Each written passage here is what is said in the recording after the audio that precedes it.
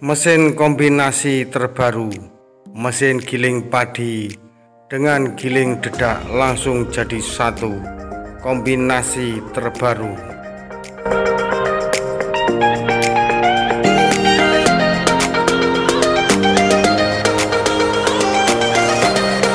Dengan inovasi mesin terbaru ini, semoga bisa membantu petani Indonesia lebih maju dan lebih bersemangat dalam bertani.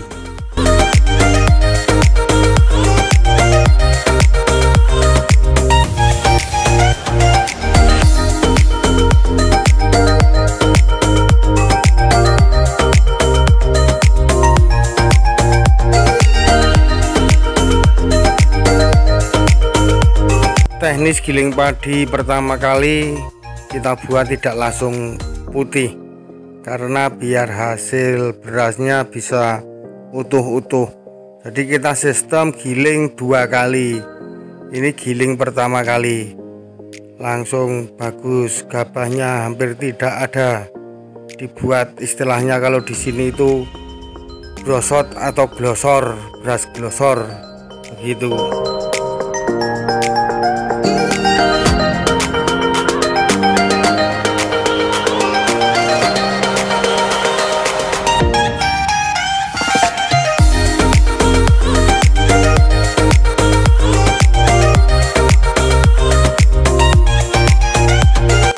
Dengan sistem penggilingan seperti ini beras menjadi utuh-utuh luar biasa. Utuh-utuh sekali berasnya.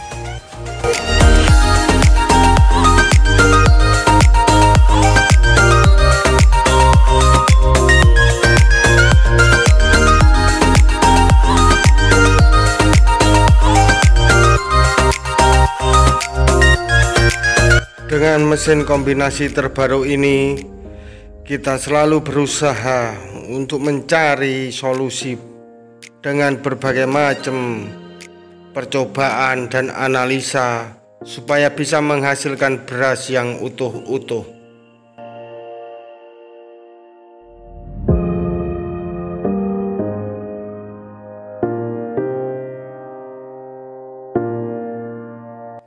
Giling yang kedua berasnya langsung bisa diputihkan berasnya langsung putih dan hasilnya utuh-utuh. Sangat luar biasa.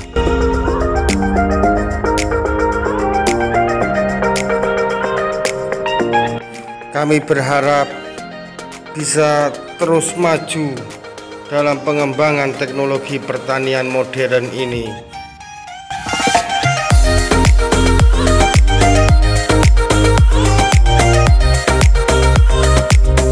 Dengan memanfaatkan teknologi ini, kami berharap petani di Indonesia bisa maju.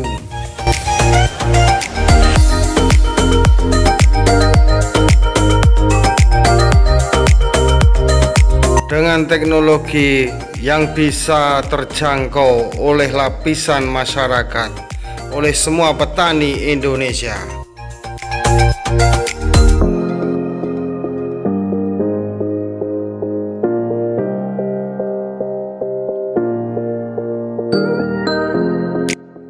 Dedak yang dihasilkan langsung lembut dan bisa dimakan oleh semua ternak dengan mesin kombinasi terbaru kita ini.